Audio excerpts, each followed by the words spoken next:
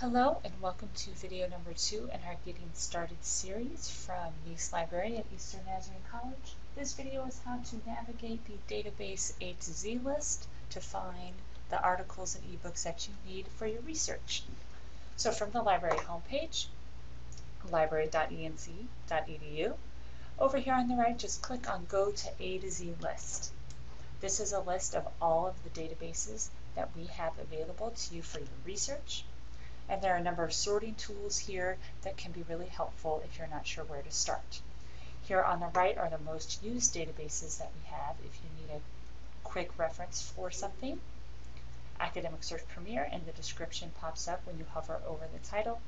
ProQuest Central, both Academic Search Premier and ProQuest Central are cross-disciplinary and have a number of different kinds of sources. They're full of newspapers, periodicals, as well as scholarly journals. So if you're doing a broad topic or not sure where to start, we urge you to go there.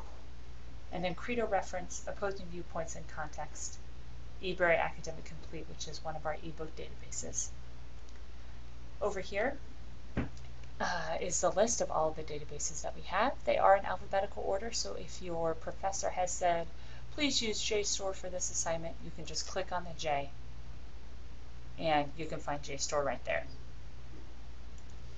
This tutorial will not go into how to search different databases. We have videos for, for those databases specifically later on in the series. If you are doing research in a particular subject, we have our databases tagged in that way. So if you're in a business class and are doing research, just click on this drop-down menu, click on Business Legal, and here are all of the databases we have for our business majors. You can see that it is quite a lot. Our best bets, the ones that the librarians pick out that are the most useful, uh, especially when you're getting started, are right here at the top. But if you're doing something specific, such as looking up certain companies, uh, there's Hoover's company profiles right there. And you can continue to go down and see how some of those might be useful to you. If you're looking for a specific type of database, such as ebooks, this drop-down in the middle uh, has our databases tagged by type. So if you're just looking for abstracts or articles, books or ebooks, newspapers, you can click on those things as well. So there's ebooks right there. And here are all the different ebooks that we have. Some of our ebook collections are specifically by subject, such as ASCD with education, and Credo Reference, which is all simply reference books, such as encyclopedias and dictionaries. But then we have some of these big ebook collections that are cross-disciplinary and have thousands of titles on a number of different subjects that you can that you can view online or download so that you can read later.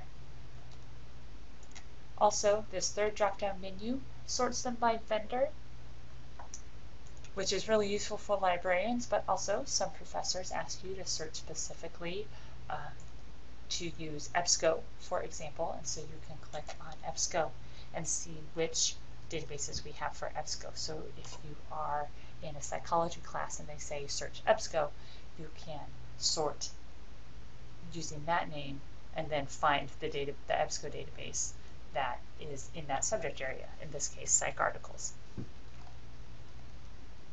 So that is how you navigate the A to Z list. These tools are really helpful. If you ever get stuck or are still not sure which database to use, you can of course always ask a librarian here at the top and we can point you in the right direction.